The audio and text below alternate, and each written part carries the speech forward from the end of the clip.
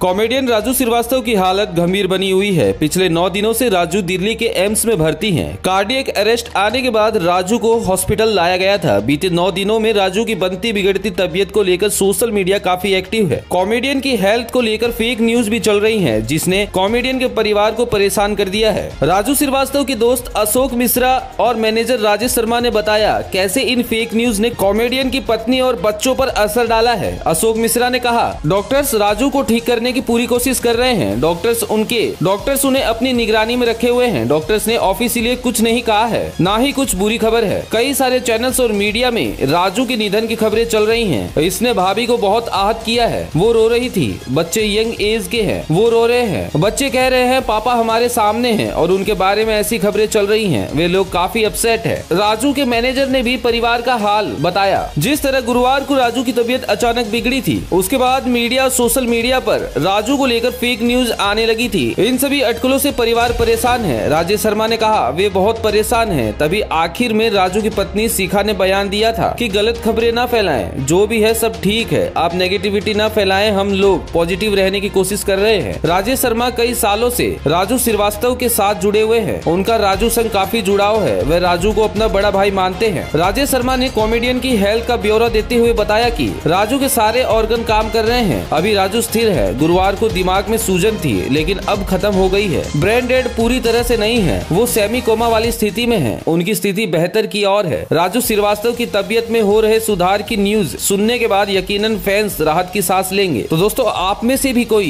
अगर ऐसी fake news फैला रहे हो तो आने वाले समय में आप पर ये भारी पड़ सकती है। तो मेरा आपसे यही अनुरोध रहेगा कि कृपया आप इंसानियत के नाते ऐसी फेक न्यूज़ ना फैलाएँ। तो उम्मीद करते हैं दोस्तों, आपको ये वीडियो अच्छा लगा होगा। अगर आपको ये वीडियो अच्छा लगा हो तो इस वीडियो को लाइक करें और बॉलीवुड से जुड़ी ऐसी मज़ेदार खबरों के लिए इस चैनल को फटाफट से सब्सक्राइब कर लीजिए। धन्यवाद।